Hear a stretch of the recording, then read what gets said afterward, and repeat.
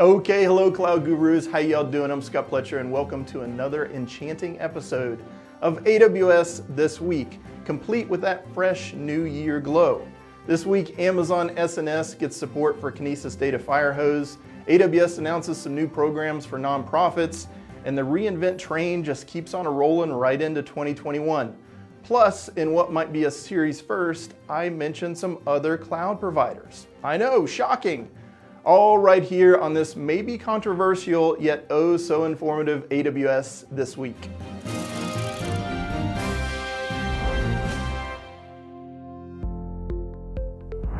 Cloud computing has been tremendously beneficial to many nonprofit organizations. And AWS has a long history of supporting the nonprofit sector through programs like AWS Imagine Grant and AWS Cloud Credit for Research, not to mention the countless sponsorships and events over the years. Recently, AWS announced the AWS Nonprofit Credit Program, which provides qualified nonprofit entities with $2,000 in cold, hard AWS promotional credits. These credits can be applied towards AWS usage fees and are intended to help qualified nonprofits get started on their cloud journey. If you are part of a nonprofit and would like to apply for the program, we'll include the link down below.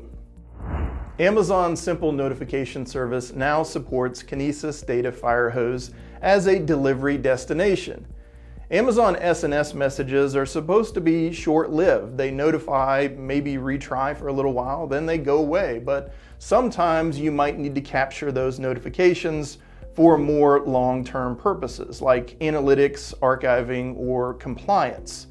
Through this new integration, you can easily route SNS messages directly to Kinesis Firehose and then on to any of the endpoints that Firehose supports, such as S3, Redshift, Elasticsearch, or other third-party providers, all without a bit of code.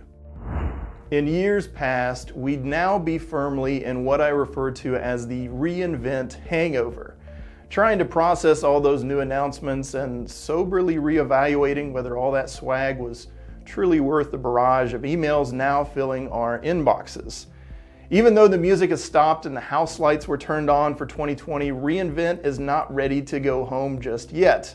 Over 200 new sessions were released between January 12th and January 14th, covering a wide variety of topics. Industry specific sessions for media and entertainment, financial services, and the public sector were announced, as were plenty of other sessions covering a variety of AWS services and customer experiences. If you missed these sessions live, most seem to be available on demand as part of your reInvent registration.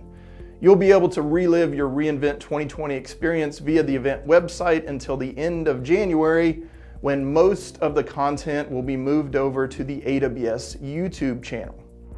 If one of your New Year's resolutions is to broaden your cloud horizons, you might want to check out this month's Cloud Guru Challenge, hosted by yours truly.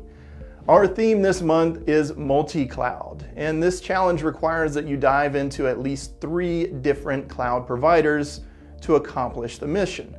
So if you wanted an excuse to learn about Azure Functions, Alibaba Cloud OSS, or IBM Watson, follow the link down below for my blog post with all the sorted details. And don't worry, I won't tell AWS. And that, my friends, is all the AWS news that's fit to print this week. Stay safe, take care of one another, and keep being awesome, Cloud Gurus.